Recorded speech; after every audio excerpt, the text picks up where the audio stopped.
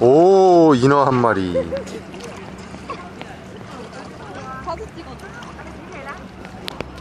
아 여기 침을 안 심으면 다치겠다. 돌이 막 있으니까.